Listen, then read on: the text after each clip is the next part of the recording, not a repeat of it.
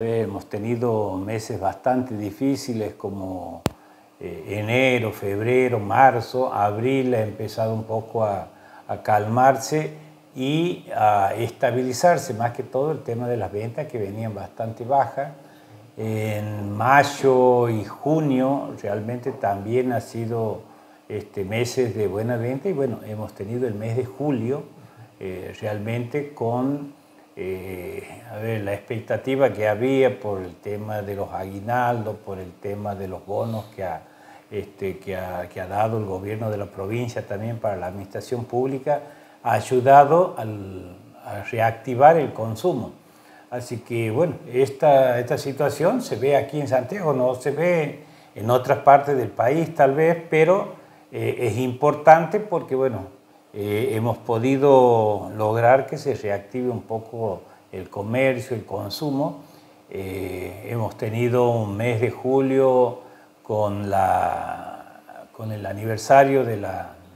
de, la ciudad y también este, ha ayudado el tema de la visita de los de, de turistas, de todas las, las cosas que se han organizado desde la municipalidad, desde el gobierno de la provincia para este, estos festejos que bueno, han ayudado realmente al, consumo.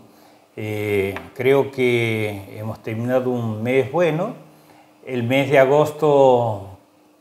históricamente para el comercio es complicado. Empezamos recién en, en, septiembre cuando comienza el cambio de temporada, pero bueno,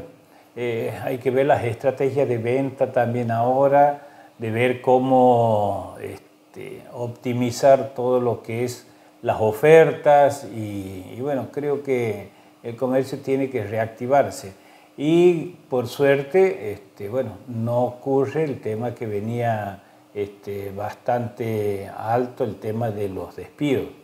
Hoy no hemos tenido despidos en el mes de julio, eh, o sea, no, no, yo creo que esto ha hecho que se pare un poco toda esta, esta situación y bueno, esperemos que esto se siga este, mejorando para bueno, el bien de todos, tanto de las empresas, como decimos nosotros, mientras las empresas estén bien, los empleados también tenemos que estar bien porque bueno, vamos a cobrar lo que corresponde, vamos a tener las condiciones de trabajo como corresponde y bueno, por supuesto, tener principalmente trabajo.